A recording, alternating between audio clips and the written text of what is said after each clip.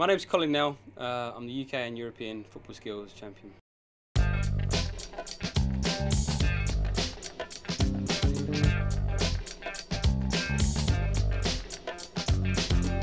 Um, the reason I'm here is because what we're promoting is active schools uh, alongside Network Rail.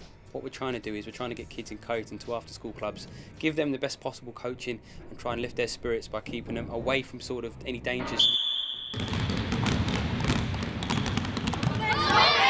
Through next door in Trinity High School today is the No Messin' clubs and what we're trying to do, we're working with Network Rail and the No Messin' branch of Network Rail to try and educate these young people about railway safety because the Cambuslang and Rutherglen and Blantyre area in South Lanarkshire is one of the worst areas for railway incidents in the whole of Scotland and what we're trying to do is give them a fun, exciting uh, way to come together and learn about railway safety. These lines are like rule lines.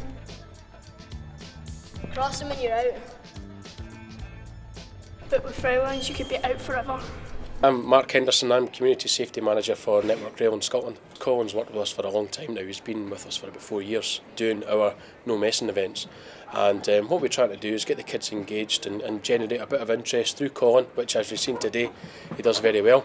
And uh, just basically teach them new skills and actually give them some sort of inspiration to try something else basically railways are safe until they're misused and unfortunately um, we have major issues in South Lanarkshire itself. 40% of our top 10 is made up of South Lanarkshire. So we really have to be quite proactive in the area and this is one of the ways that we do it. A train can travel 125 miles per hour, takes 20 football pitches to stop.